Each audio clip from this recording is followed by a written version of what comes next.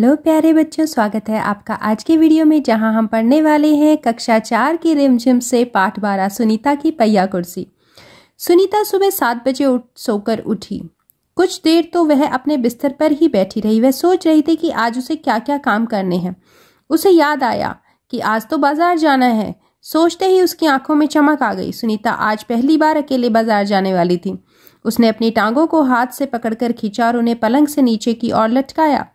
फिर पलंग का सहारा लेती हुई अपनी पहिया कुर्सी तक पड़ी, बढ़ी। सुनीता चलने फिरने के लिए पहिया कुर्सी की मदद लेती है। आज वह सभी काम फुर्ती से निपटाना चाहती थी। हालाँकि कपड़े बदलना, जूते पहनना आदि उसके लिए कठिन काम है। पर अपने रोज़ाना के काम करने के लिए उसे स्वयं ही कई तरीके ढूंढ निकाले हैं।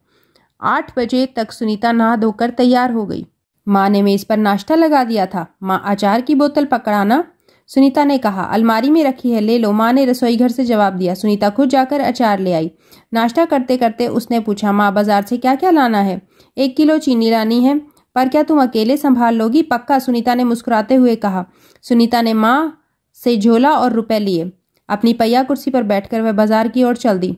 सुनीता को सड़क की ज़िंदगी देखने में मज़ा आता है, चूँकि आज छुट्टी है, इसलिए हर जगह बच्चे खेलते हुए दिखाई दे रहे हैं। सुनीता थोड़ी देर रुक कर उन्हें रस्सी कूदते गेंद खेलते देखती रही, वह थोड़ी उदास हो गई। वह भी उन बच्चों के साथ खेलना चाहती थी। खेल के मैदान में उसे एक लड़की दिखी, जिसकी माँ उसे वापस लेने के लिए आई थी। दोनों एक दूसरे को टुकुर टुकुर देखने लगे। फिर सुनीता को एक लड़का दिखा। उस बच्चे को बहुत सारे बच्चे छोटी छोटू बुलाकर चिढ़ा रहे थे। उस लड़के का कद बाकी बच्चों से छोटा था। सुनीता को यह सब बिल्कुल अच्छा नहीं लगा। रास्ते में कई लोग सुनीता को देखकर मुस्कुराए, जबकि वह उन्हें जानती तक नहीं थी। पहले तो वह मन ही मन खुश हुई, परंतु फिर सोचने लगी, ये सब लोग मेरी तरफ़ भला इस तरह क्यों देख रहे हैं?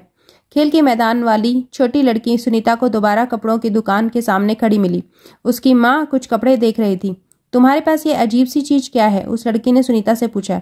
यह तो बस एक, सुनीता जवाब देने लगी, परंतु उस लड़की की माँ ने गुस्से में आकर लड़की को सुनीता से दूर हटा दिया। इस तरह का सवाल नहीं पूछना चाहिए वरीदा अच्छा नहीं लगता, माँ ने कहा। मैं दूसरे बच्चों से अलग नहीं हूँ सुनीता ने दुखी होकर कहा, उसे फरीदा की माँ का व्यवहार समझ में नहीं आया। अंत में सुनीता बाज़ार पहुँच गई। दुकान में घुसने के लिए उसने सीढ़ियों पर चढ़ना था। उसके लिए यह कर पाना मुश्किल था। आसपास के सब लोग जल्दी में थे। किसी ने उसकी तरफ़ ध्यान नहीं दिया। अचानक जिस लड़की को छोटू कहकर चिढ़ाया जा रहा था, वह उसके सामने आकर खड़ा हो गया। मैं अमित हूँ। उसने अपना परिचय दिया। क्या मैं तुम्हारी कुछ मदद करूँ? मेरा नाम सुनीता है। सुनीता ने राहत की सांस ली और मुस्कुराकर बोली, पीछे से पैडल को पैर से जरा दबाओ। ये हाँ हाँ ज़रूर, कहते हुए अमित ने पहिया कुर्सी को टेढ़ा करके उसके अगले पहियों को पहली सीढ़ी पर रखा। फिर उसने पिछली पहियों को भी ऊपर चढ़ाया। सुनीता ने अमित को धन्यवाद दिया और कहा, अब मैं दुकान तक पहुँच सकती हूँ। दुकान में पहुंचकर सुनीता ने एक किलो चीनी मांगी। दुकानदार उसे देखकर मुस्कुराया। चीनी की थैली पकड़ाने के लिए उसने हाथ आगे बढ़ाई था कि दुकानदार ने थैली उसकी गोदी में रख दी। सुनीता ने गुस्से से कहा मैं भी दूसरों की तरह खुद अपने आप सामान ले सकती हूँ। उसे दुकानदार का व्यवहार बिल्कुल अच्छा नहीं लगा। चीनी लेकर सुनीता और अमित बाहर निकले। लोग मेरे साथ ऐसा व्यवहार करते हैं जैसे कि मैं कोई अजीबो गरीब लड़की हूँ। सुनीता ने कहा, शायद तुम्हारी पहिया कुर्सी के कारण ही वो ऐसा व्यवहार करते हैं, अमित ने कहा। पर इस कुर्सी में भला ऐसी क्या खास बात है? मैं तो बचपन से ही इस पर बैठकर चलाती हूँ, सुनीता ने कहा। अमित ने पूछा, पर तुम इस पर क्यों बैठती हो? मैं पैरों से चल ही नहीं सकती। इस पहिया कुर्सी के पहियों को घुमाकर ही मैं चल फिर पाती हूँ। लेकिन फिर भी मैं दूसरे बच्चों से अलग नहीं हूँ। मैं वो सारे काम कर सकती हूँ जो दूसरे बच्चे कर सकते हैं। सुनीता ने कहा, अमित ने अपना सिर ना में हिलाया और कहा, मैं भी वे सारे काम कर सकता हूँ जो दूसरे बच्चे कर सकते हैं, पर मैं भी दूसरे बच्चों से अलग हूँ। इसलिए तुम भी अलग हो। सुनीता ने कहा, नहीं, हम दोनों दूसरे बच्चों जैसे ही हैं। अमित ने दोबारा अपना सिर ना में हिलाया और कहा, देखो, तुम पहिया कुर्सी पर बैठकर चलती हो। मेरा कद बहुत छोटा है। हम दोनों ही बाकी लोगों से कुछ अलग हैं। सुनीता कुछ सोचने लगी। उसने अपनी पहिया कुर्सी आगे की ओर खिसकाई।